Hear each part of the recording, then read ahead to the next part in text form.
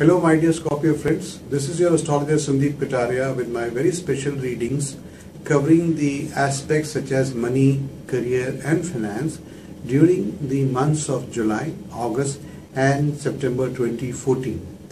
Situations are likely to improve and challenges will give way to opportunities. If you promise not to lose your temper and also not to be liberal with your critical comments. Try to be humble and gentle with everyone in your professional circle and business relations. In case some money is to be paid and there is a dispute about it, then it is better to pay off some extra money and save time and efforts. And I promise you that you will be able to earn much more than what you have paid off. With saved time and energy, you can achieve a lot more in your career. Traveling is also very much on the cards.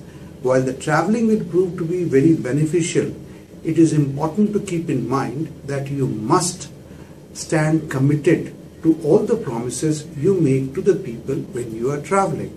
If you don't deliver in time or you do not keep your words, then the benefits which you may be expecting from your hard work will be wasted.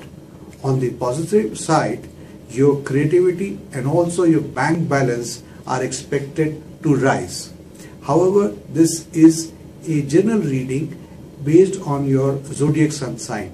To get more specific and personal reading, I advise you to contact us directly through email or telephone. Also visit our website so if you have liked this video, then do share, do subscribe and do give your comments. With these words, I wish you a lot of prosperity and abundance in the months to come.